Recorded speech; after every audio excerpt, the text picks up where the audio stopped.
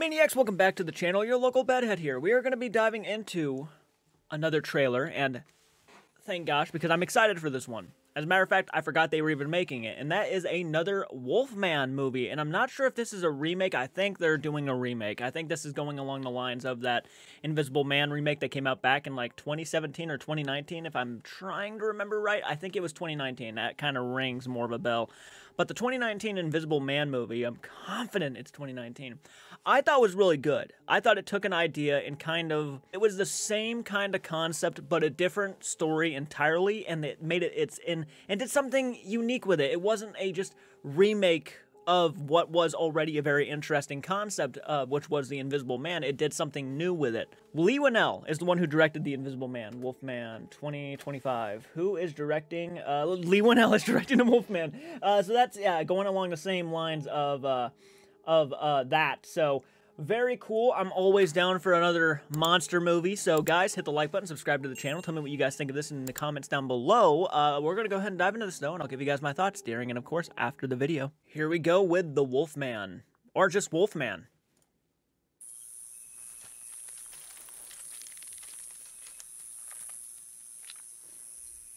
Got to get some nature love in there. Oh, Insect versus Insect from the director of The Invisible Man. Black Phone was great. What was that thing, Blake? It sounded like an animal. Yes. But I swear to God, it was standing on two feet. Daddy, are we gonna die? No. It's my job to protect you. What's wrong with Daddy? He got sick. Blake, that is scaring me! Dude,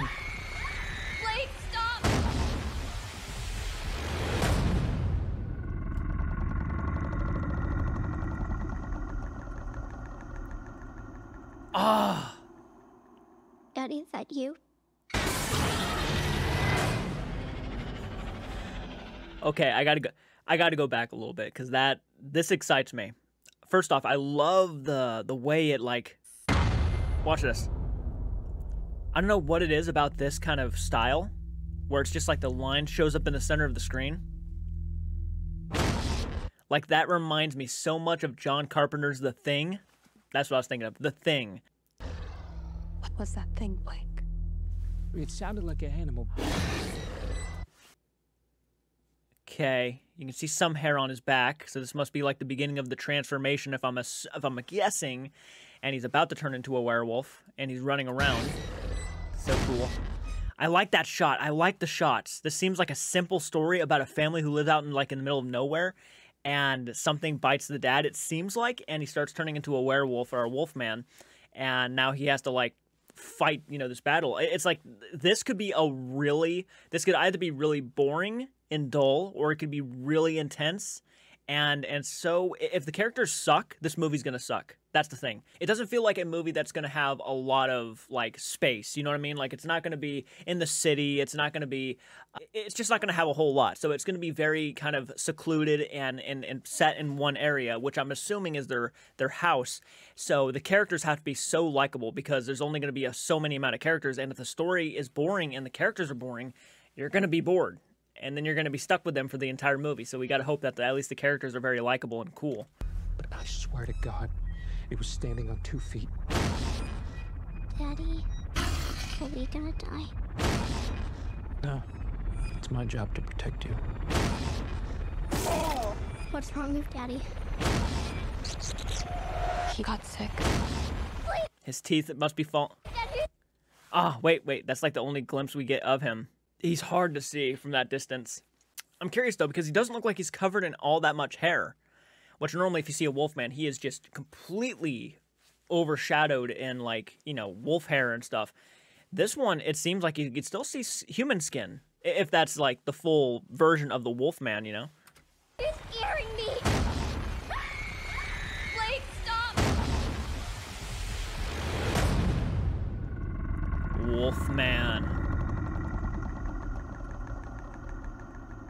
This reminds me of like an early 2000s horror film.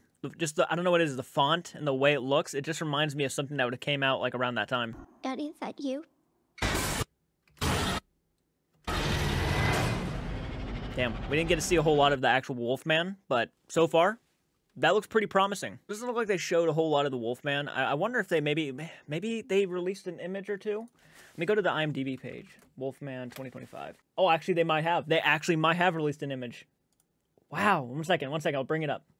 I, got to get a good look at this. I'm not too sure what to think of it. I wanted to, you know, quickly kind of.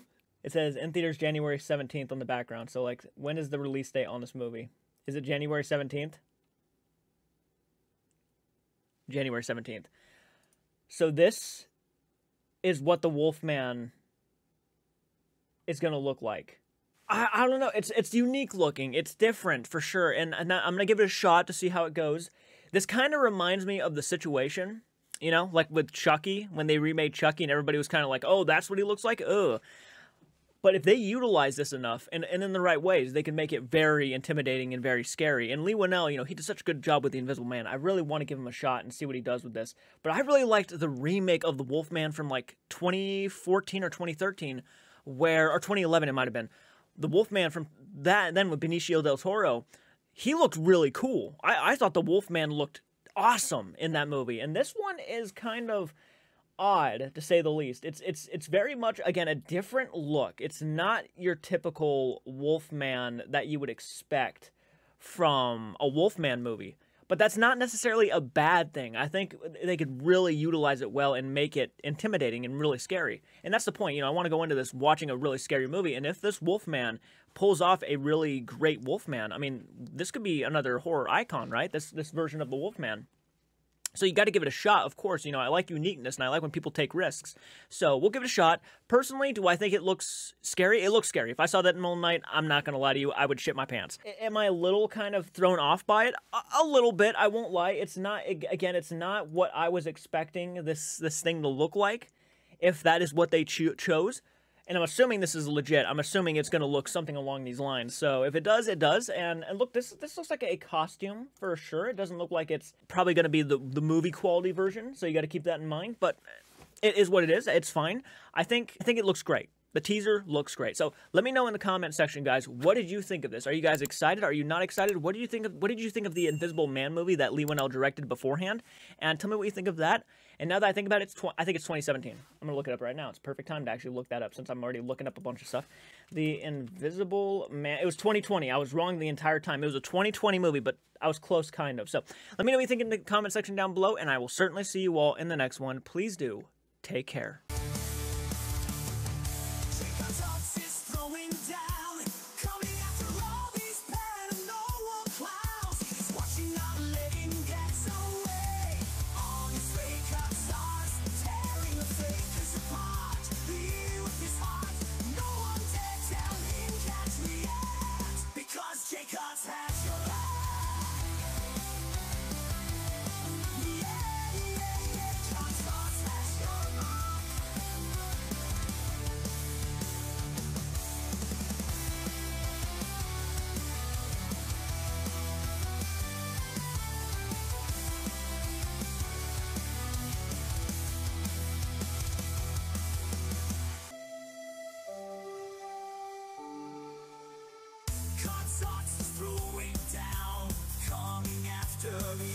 A can't speak, consorts is through. You won't be mended.